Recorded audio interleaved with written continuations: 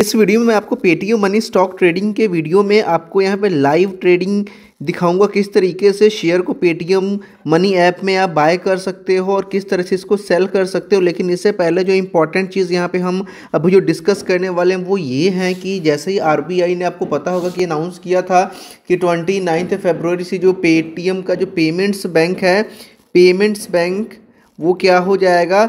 बंद हो जाएगा। इस वजह से लोगों में ये काफ़ी मिसकंसेप्शन है कि पेटीएम कम्प्लीटली ही बैन हो जाएगा। मतलब पेटीएम की सारी सर्विसेज़ बंद हो जाएँगी। तो शायद कहीं जो पेटीएम मनी है पेटीएम मनी जिससे कि आप ट्रेड करते हो, जिसमें आपने डीमेट अकाउंट ओपन किया हुआ या फिर करने की सोच रहे हो, वो भी बंद हो जाएगा। लेकिन ऐसा बिल्कुल भी नहीं है। ना तो पेटीएम मनी बंद होने वाला है, ना ही आपका पेटीएम कंप्लीट बंद होने वाला है।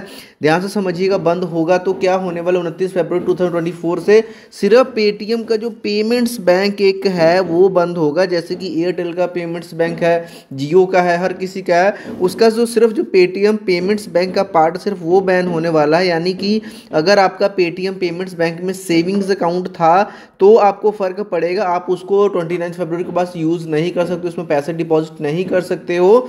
और उससे रिलेटेड जितनी भी चीज़ें जुड़ी हुई थी, चाहे अगर वो आपने कहीं पे ऐड कर रखा था लिंक कर रखा था, वो सारी की सारी चीज़ें बैन होंगी अदरवाइज़ जो पेटीएम है रिचार्ज वगैरह यूपीआई किसी और बैंक के साथ आपने जोड़ रखा था, वो सारी चीज़ें एज इट इज़ चलती रहेंगी। और पेटीएम मनी का जो स्टॉक ट्रेडिंग चलता है पेटीएम मनी का जो ऐप है पेटीएम मनी इससे कोई फ़र्क नहीं पड़ेगा, ये बिल्कुल सेफ़ है। और इससे कोई मतलब ही नहीं है, क्योंकि RBI बैंक को गवर्न करती है, और जो पेटीएम मनी ऐप है, ये पूरा इसका जो गवर्निंग बॉडी है, जिसको जो इसको रेगुलेट करता है, वो सैबी है, दोनों ही डिफरेंट यहाँ पे।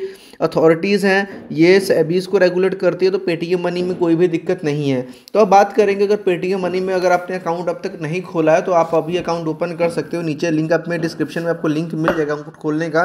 चौबीस घंटे में आपका अकाउंट ओपन हो जाएगा और भी काफ़ी सारे यहाँ पे बेनिफिट हैं ऑफर्स मिलेंगे, जैसे कि ब्रोकरेज फ्री का भी ऑफ़र चला डिटेल आपको नीचे मिल जाएगी डिस्क्रिप्शन में ही। तो अभी यहाँ पे लाइव स्क्रीन चलाने से पहले आपको मैं बताना चाहता हूँ कि इसमें कुछ ब्रोकरेज चार्जेस भी रहते हैं पेटीएम मनी के। यहाँ अगर पेटीएम मनी पे आप ट्रेडिंग कर रहे हो पेटीएम मनी स्टॉक ट्रेडिंग कर रहे हो तो यहाँ पे आपको कुछ चार्जेस पे करने पड़ते हैं, कुछ ब्रोकरेज देनी पड़ती है, वो कितना है? देखिए, अगर तो आप डिलीवरी ट्रेडिंग करते हो डिलीवरी ट्रेडिंग करते हो तो इसमें आपको कितना देना पड़ेगा? ढाई और rupees twenty whichever is lower यानी कि अगर आज आप स्टॉक को खरीद रहे हो, इसको आप दस दिन, बीस दिन, एक साल, दो साल तक रखने वाले होल्ड करके रखने वाले हो, उसमें कितनी लगेगी ब्रोकरेज आपकी? या तो ढाई परसेंट मान लीजिए आप पाँच सौ रुपये से बक कर रहे हो तो पाँच सौ रुपये छोटी अमाउंट तो ढाई परसेंट इसका जितना बनेगा, वो लगेगा। अगर आप लाखों में कर रहे हो तो भी मैक्सिमम बीस रुपये से ज़्यादा ब्रोकरेज नहीं लगेगा पर एग्जीक्यूटेड ऑर्डर बाय के ऊपर भी सेल के ऊपर भी। ओके अब डिलीवरी की बात हो गई। और अगर आप इंट्राडे ट्रेडिंग करते हो इंट्राडे ट्रेडिंग में क्या होता है? अगर आज मान के चलो मैं शेयर को खरीद रहा हूँ तो मुझे आज ही इसको बेचना पड़ेगा। आज ही खरीदा और आज ही मुझे इसको बेचना पड़ेगा। क्या होता है ना कि मार्केट का जो टाइमिंग है मंडे टू फ्राइडे नौ बजकर पंद्रह मिनट से लेकर के साढ़े तीन बजे दोपहर तक मार्केट खुलती है। अब इस टाइम के बीच में कभी भी आप शेयर को खरीद लो इंटरडे में कर रहे हो तो आपको तीन बजकर बीस या पच्चीस से पहले पहले बेचना होगा। अगर आप नहीं बेचते हो तो जो पेटीएम मनी है, खुद ब खुद क्या कर देगा, आपके शेयर को बेच देगा स्केयर ऑफ़ कर देगा, चाहे भले ही आपको लॉस क्यों ना हो जाए। और उसके बाद में क्या होगा, साथ में आपको हल्की सी यहाँ पे अप्रॉक्सीमेट पचास रुपये के आसपास की पेनल्टी भी लगा देता है। तो अगर इंट्राडे ट्रेडिंग कर रहे हो तो इसमें आपको कितना फ़ीस देना पड़ेगा पेटीएम को? तो वो काफ़ी कम है। वो है zero point zero five percent और रुपीज़ ट्वेंटी अगर तो आप छोटे मोटे सौ, दो सौ, पाँच सौ, हज़ार से कर रहे हो तो ये वाला लगेगा। बड़ी अमाउंट में करो तो बीस रुपये से ज़्यादा फिर भी नहीं लगेगा। बाय के ऊपर भी सेल के ऊपर भी। यानी इंटरडे का जो चार्जेस है, वो काफ़ी यहाँ पे कम है।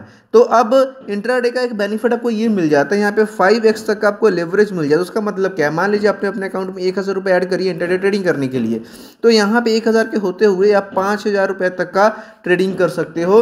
अगर कोई सौ रुपये का स्टॉक खरीदोगे तो आपका सौ रुपये ना लग करके इक्कीस या बाईस रुपये लगेगा, बीस रुपये आपको पे करना पड़ेगा। यानी कि कम पैसे में आप ज़्यादा स्टॉक खरीद लोगे और पाँच गुना जो होगा, जो आपको प्रॉफिट होगा, वो भी इसी के ऊपर होगा लॉस भी होगा तो वो भी इसी के ऊपर होगा, चाहे आपने पैसे कम ऐड करें हैं। लेकिन कंडीशन यही है कि जब इसको सेम डे के सेम डे आपको बेचना पड़ेगा, चाहे आपको घाटा हो, चाहे आपको फ़ायदा हो। ओके सिंपल इज़ दैट अब इसके बाद में अगर स्टॉक्स के ऊपर अगर आप फ्यूचर एंड ऑप्शंस में काम करते हो, अगर आप ऑप्शंस ट्रेडिंग करना चाहते हो जैसे कि लोग के क्या करते हैं, ऑप्शंस ट्रेडिंग में इंटरेस्ट लेते हैं, स्पेशली एक्सपायरी के दिन, जो थर्सडे का डे होता है, ऑप्शंस का एक्सपायरी होता है, वीकली भी होता है और मंथली भी होता है, इंडेक्सिंग से तो वीकली होते हैं, अदरवाइज़ जो स्टॉक्स के हैं वो मंथली होते हैं। तो उसका क्या है, चाहे तो आप ऑप्शन में काम कर लो, चाहे तो आप फ्यूचर्स में काम कर लो, जब भी कोई भी लॉट आप बाय करते हो तो ट्वेंटी रुपीज़ यहाँ पे फिक्सड है, इसमें परसेंटेज कोई सी नहीं है, ट्वेंटी रुपीज़ पर एग्जीक्यूटेड ऑर्डर ऑर्डर आपको तो पे करना ही पड़ेगा, यहाँ पे वो तो करना ही पड़ेगा। इसके अलावा यहाँ पे ये तो होगा जो पेटीएम ने आपसे चार्जेस लेने ये पेटीएम के हैं। इसके अलावा कुछ रेगुलेटरी एंड स्टेचुटरी चार्जेस होते हैं रेगुलेटरी एंड स्टेचुटरी चार्जेस होते हैं, जिसमें जैसे कि एस चार्ज है डिलीवरी स्टॉक्स के ऊपर ज़ीरो पॉइंट दस परसेंट बाय के ऊपर भी सेल के ऊपर भी लगेगा, और इंट्राडे कर रहे हो, ये डिलीवरी के लिए है। अगर इंट्राडे कर रहे हो तो इंट्राडे में क्या होता है कि थोड़ा सा यहाँ पे कम लगता है और कम भी लगता है और साथ में यहाँ पे आपको एक ये है कि जो आपका इंट्राडे में zero point double zero five percent ही लगता है। Sorry, zero point zero five नहीं, इंट्राडे पे कितना लगता है आपका S charge? Zero point zero two percent, zero point zero two five पर और वो भी कहाँ पे लगता है? सिर्फ़ सेल साइड पे लगता है डिलीवरी में दोनों साइड लगता है। इसके अलावा कुछ अदर चार्जेस हैं, जैसे कि एक्सचेंज के ट्रांजैक्शन चार्जेस हैं सेबी के टर्नओवर फ़ीस है जीएसटी आपकी यहाँ पे लगती है एटीन परसेंट एटीन परसेंट किसके ऊपर लगता है? जो भी आपकी ब्रोकरेज वगैरह बनती है स्टैंप ड्यूटी जो भी लगता है एक्सचेंज के चार्ज जो भी, उन सभी का जो वैल्यू निकलता है, उसके ऊपर अठारह परसेंट। यानी कि ये सारे कुछ मिलाकर मामूली से यहाँ पे अमाउंट बनती है। तो ये आपने देखा यहाँ पे कुल मिलाकर के ये चार्जेस यहाँ पे आपको पे करने पड़ते हैं। जो स्टेचुटरी रेगुलेटरी चार्ज है तो भाई किसी भी ब्रोकर के साथ आप चले जाओ, आपको तो पे करना ही पड़ता है। और यहाँ पे सारी चीज़ों को हमने देख लिया। अब इसके बाद में अभी यहाँ पे हम देखेंगे लाइव ट्रेडिंग का यहाँ पर आपको डेमो दिखाऊँगा, जो स्क्रीन रिकॉर्ड कर रखा है, किस तरीके से ये काम करता है। और यहाँ पे स्टॉक को बाय करना सेल करना बहुत ईजी है। साथ में पेटीएम मनी स्टॉक ट्रेडिंग अगर इसमें अगर पेटीएम मनी अपना अकाउंट ओपन करते हो तो ये जो ट्रेडिंग है शेयर मार्केट में पैसा तो लगा ही सकते हो। और मिनिमम चाहते हैं यहाँ पे सौ रुपये से भी आप लगा सकते हो।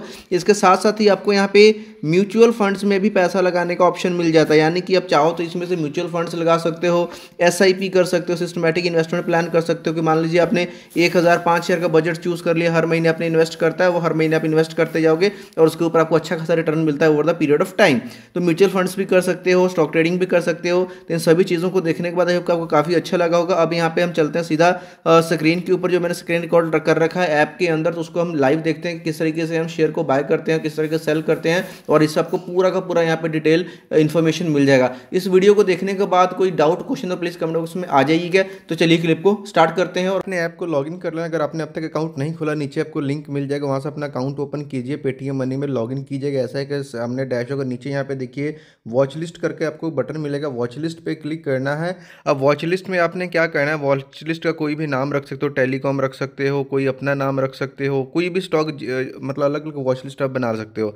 अब वॉच लिस्ट बना लेने के बाद क्या करोगे? वॉच लिस्ट को क्लिक करके उसमें जो भी स्टॉक्स आपने ऐड करना है। फॉर एग्ज़ाम्पल आपने एयरटेल ऐड करना है या फिर आपने State Bank of India add करना है। जो भी स्टॉक्स में आप इंटरेस्टेड हो, उसको क्लिक करोगे, ऐसा सामने आएगा थ्री डॉट्स पे क्लिक करोगे और वहाँ से क्या हो जाएगा का जो वॉच लिस्ट का यहाँ पे ऑप्शन आपको मिलेगा तो वॉच लिस्ट वाले के ऊपर क्लिक करोगे देन आपसे पूछेगा, आपने कौन से वाले वॉच लिस्ट में ऐड करना है।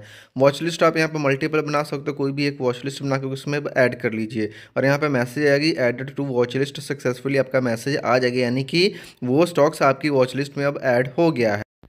अब थी स्टॉक को बाय करने का, एक बार आपने जब से वॉच लिस्ट में ऐड आपको लगता है, अब आपको बाय करना है तो अगेन हम क्या करेंगे, जिस भी स्टॉक को बाय करना है, उसको सर्च कर सकते हैं यहाँ पे अपने वॉच लिस्ट में देखें, यहाँ पे सेल और बाय का नीचे आपको बटन मिल जाएगा बाय करना है बाय वाले पे ऊपर क्लिक करेंगे, और बाय पे जैसे ही हम आगे क्लिक करते हैं, आपको यहाँ पे दो ऑप्शन मिलता है, एक डिलीवरी का और एक मिलता है आपका यहाँ पे इंट्रा डे का, अगर तो इंट्रा डे करना है, अगर आज ही खरीद के आज ही बेच तो इंट्रा डे अदरवाइज़ आपने डिलीवरी ही करना है तो आप डिलीवरी पे सिलेक्ट करेंगे क्वांटिटी जितने भी शेयर खरीदने जैसे वोडाफोन आइडिया के यहाँ पे मैंने सौ शेयर खरीदने हैं। एट मार्केट पे सिलेक्ट कर लिया, जो भी मतलब मार्केट प्राइस तो मार्केट पे करेंगे। अगर हमको लिमिट लगाना है तो वहाँ पे हम प्राइस डाल देंगे और यहाँ पे क्या करेंगे? स्वाइप टू बाय कर देंगे। जो नीचे आपको बटन बाय का, वहाँ पर करेंगे और एक आपके फ़ोन के ऊपर के आपके कन्फर्मेशन आ जाता है। और यहाँ पे जो आपका ऑर्डर है सक्सेसफुली लग जाता है और जिसको आप ऑर्डर वाले सेक्शन में जा करके ईजिली चेक कर सकते हैं।